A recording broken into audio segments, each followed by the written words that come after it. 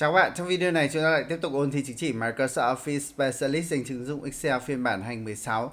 Và với nội dung của video này thì chúng ta sẽ thực hiện cái phần về ẩn hoặc là hiện ra các cái dòng hoặc cột trong Excel.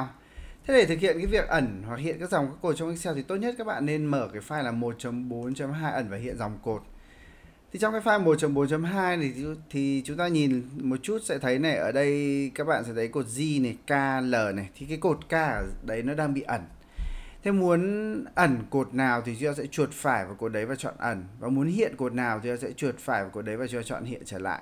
Thế bây giờ các bạn thấy là chỗ này ta có cái cột K và cột K đấy nó đang bị ẩn. Thế bây giờ cho muốn hiện nó ra thì ta phải chọn được cột K. Mà muốn chọn được cột K thì các bạn sẽ phải nhấn vào G xong kéo sang L thì khi chúng ta nhấn vào G xong kéo sang L thì như vậy là chúng ta sẽ chọn cái K ở ngay giữa đấy. Và chính vì thế chúng ta có thể chuột phải ở một trong hai cột G hoặc L thì và chúng ta chọn là ăn hai. Thì sau khi chọn ăn hai như thế các bạn sẽ hiện trở ra được cột K.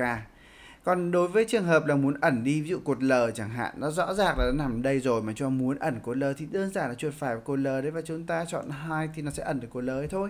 Thì thao tác nó rất là đơn giản và làm tương tự đối với dòng thì chúng ta có gì? Nếu tôi muốn ẩn từ ngày mùng 1 cho đến đây hết ngày mùng 1 chọn vẹn ngày mùng 1 và chọn vẹn ngày mùng 3 thì muốn ẩn chọn vẹn ngày mùng 1 tháng 1 năm 2017 và chọn vẹn ngày mùng 1, mùng 3 tháng 1 năm 2017 thì chúng ta sẽ phải chọn ngày mùng 1 tháng 1 2017 bằng cách là nhấn kéo từ dòng 5 cho đến dòng 8 sau đây chúng ta chọn tiếp ví dụ như là à, ngày mùng 3 thì chúng ta sẽ phải chọn tiếp cái vùng là gì?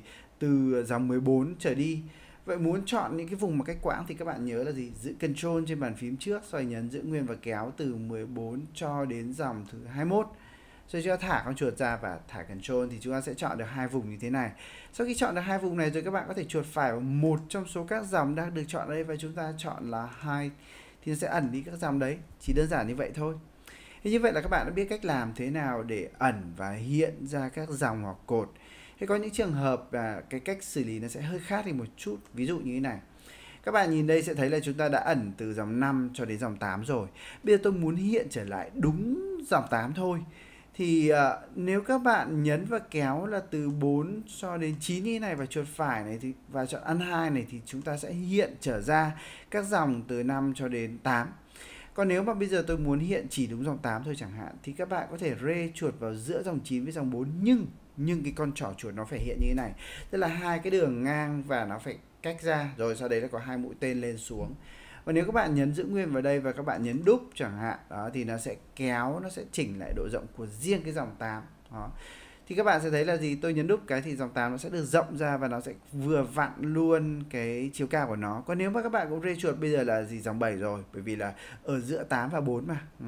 vậy là nếu chúng ta rê chuột vào đây và đúng mũi tên như thế này thì chúng ta sẽ nhấn và giữ nguyên và kéo này thì sẽ, ta sẽ kéo đúng dòng 7 rồi. Còn nếu mà các bạn rê chuột vào giữa này mà các bạn lại thấy cái đường gạch ngang nó lại đen rồi, và hai mũi tên đen như kia thì đây là thay đổi độ rộng của dòng 4 chứ không phải là điều chỉnh cái um, cái độ rộng của dòng xem nào 6. Thế thì như vậy là chúng ta biết được cái cách làm nào để có thể là hiện trở lại nhiều dòng cùng lúc hoặc là chỉ một cái dòng sát đó nhất. Và còn ngoài ra nữa thì có một cái tình huống mà có thể rất nhiều người cũng đã gặp rồi, tức là ta ẩn hai cái cột AB ví dụ tôi chọn cả hai cột AB xong tôi chọn hai để ẩn hai cột AB thế về nguyên tắc nếu mà tôi đã chọn hai cột AB như thế này mà muốn hiện trở ra thì phải chọn được cái cột AB đấy Thế ta có thể dùng hai cách, một cách là như chúng ta vừa mới học đối với dòng rồi. Thì các bạn rê chuột vào cái cái phần phía bên tay trái của cột C tức là nó sẽ nằm ở tay phải của cột B đấy. Ừ. Và các bạn sẽ thấy là mũi tên nó sẽ hiện như thế này, tức là hai cái gạch dọc và và mũi tên chạy chạy ngang. Rồi, hai mũi tên sang ngang như này cho biết là các bạn nếu mà nhấn giữ nguyên vào đây và kéo thì ta sẽ thay đổi độ rộng của cột B. Đó. Còn nếu mà các bạn muốn hiện nhiều cột ra giống như cái cách bình thường là chọn và ăn hai thì các bạn sẽ phải nhấn giữ nguyên vào cột B, sẽ kéo giật con chuột qua phía bên tay trái như thế này làm sao cho nó có cảm giác là đang chè lên cột A.